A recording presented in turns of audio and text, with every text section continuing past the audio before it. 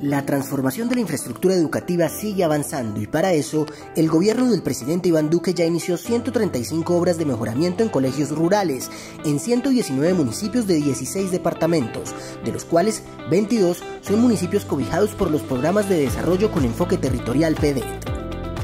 De 135 obras iniciadas de mejoramiento, ya hemos entregado 8 en los departamentos de Bolívar, Cundinamarca y Huila. En total serán 668 obras financiadas por el Ministerio de Educación Nacional que permitirán renovar las aulas, cubiertas, baños, cocinas, comedores y residencias escolares de los colegios rurales y beneficiando a más de 147 mil estudiantes de las zonas rurales más dispersas de nuestro país.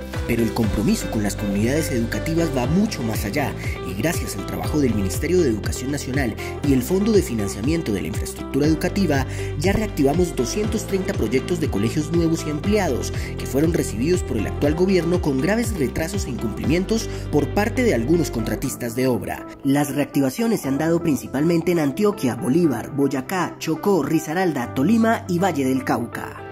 Los resultados ya se están viendo. En Chiquinquirá, Boyacá, entregamos la primera obra reactivada en el Liceo José Joaquín Casas, la cual beneficiará a 1.254 estudiantes.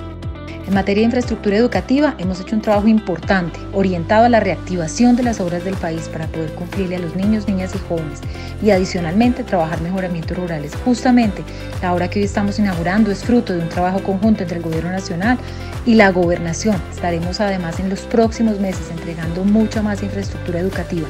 Los ambientes de aprendizaje de calidad mejoran la vida de los estudiantes y la calidad del proceso de aprendizaje.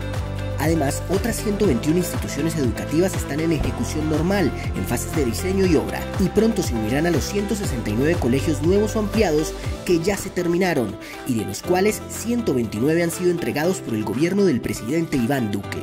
Con ambientes de aprendizaje dignos construimos oportunidades, se reducen las brechas entre la infraestructura educativa urbana y rural y garantizamos las condiciones de bienestar, acceso y permanencia para miles de estudiantes en todo el país.